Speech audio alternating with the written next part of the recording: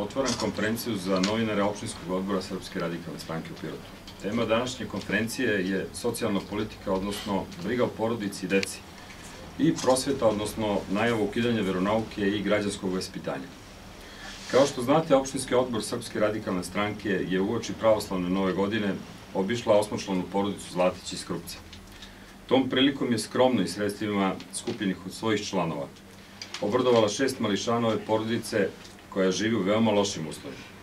Nije nam bio cilj da izdvojimo pomoć samo za ovu porodicu, jer sličnih porodica u Pirotu ima mnogo, već da ukažemo sistemsku grešku koja treba, koju treba ispravljati. Bela kuga u Srbiji godišnje nas košta grada veličine Paraćina i treba podržati mlade da zasniju porodice i da stvaraju decu. Svako dete je bitno, ali porodice sa više dece moraju osim novčane pomoći i institucionalno da se pomogu. Ne sme se dozvoliti da porodice sa 3, 4 ili više deteta nemaju ni jednog od roditelja bez stalnog zaposlenja. Da budu socijalni slučajevi i da deca odrastaju u nemaštini i bez osnovnih životnih uslova.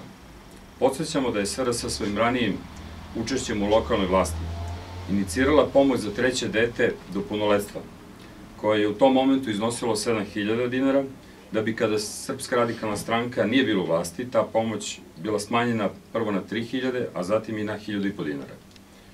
Srpski radikali smatruju da se pomoć za decu i roditelje na ovaj način, kroz instituciju lokalne uprave, mora i poblišati, ali i proširiti.